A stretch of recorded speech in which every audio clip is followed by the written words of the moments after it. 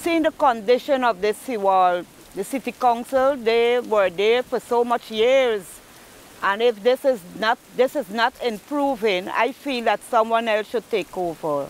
All these bottles and, and, and plastic bags and stuff like that is here on the seawall this morning. It looked very horrible. We need a change from City Hall because this is not good enough for us as Guyanese.